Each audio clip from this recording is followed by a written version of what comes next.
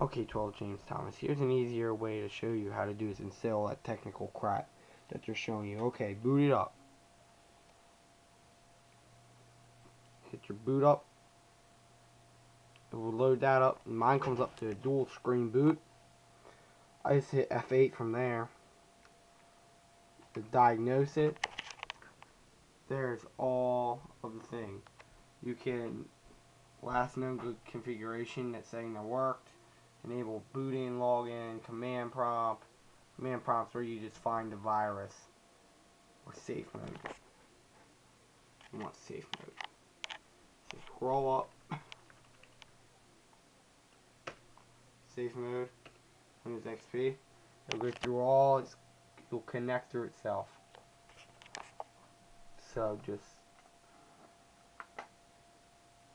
once it goes through everything, it'll find all the files it needs to find.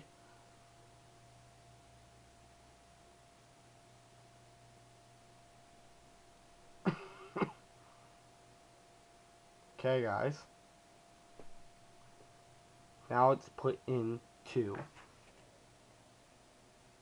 Microsoft and it's just booting up in safe mode. so now it should bypass if you have a virus on there should but don't hold me against it. I should welcome you, but... and then enables you to fix problems. I just hit yes. If you want to do a system restore, it'll boot up like this, guys. It'll be in safe mode, and then you can find whatever you need that's causing the virus. So, you probably could go and go to command load up.